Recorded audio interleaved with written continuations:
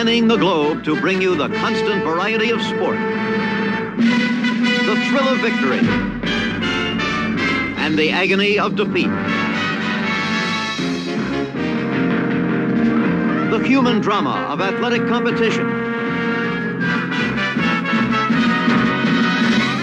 This is ABC's Wide World of Sports.